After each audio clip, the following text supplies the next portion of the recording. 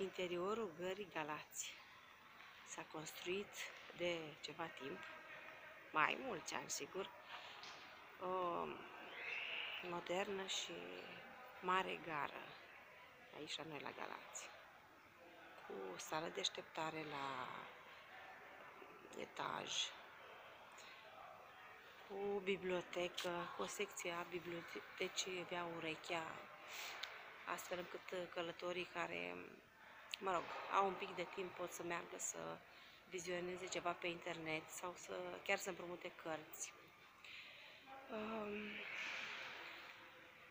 după cum se vede, are și chioșcuri, are și um, mai multe um,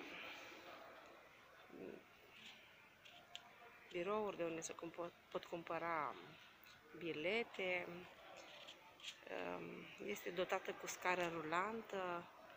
Ehm, sigur, ehm, lifturi pentru coborâre la cele 5, 5 linii funcționale pentru pasageri,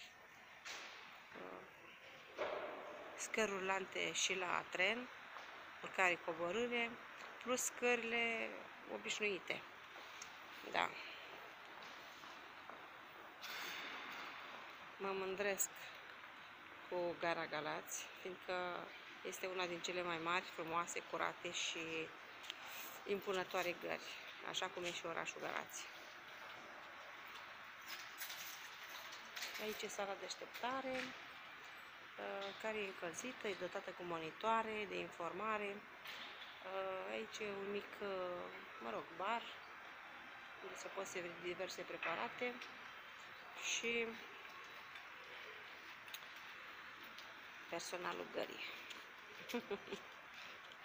și tocmai a trecut personalul gării. Da.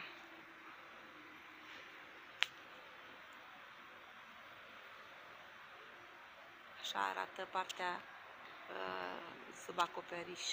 Aici uh, și-au găsit, și-au făcut cuibul niște păsărele și ziua, uh, acum cred că sunt culcate, dar ziua se aude foarte frumos uh, ciripit de păsărele, zici că ești în luncă.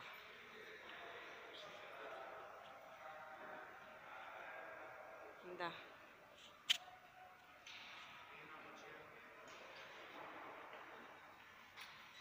O seară reușită vă doresc. La revedere!